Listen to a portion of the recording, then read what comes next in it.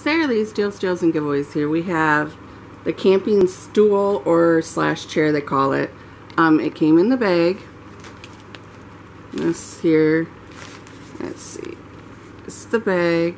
And it's a camping chair stool. And it came in just an envelope.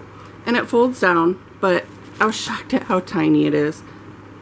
And I don't know the weight limit or anything. I'll have to look that up because I just got it.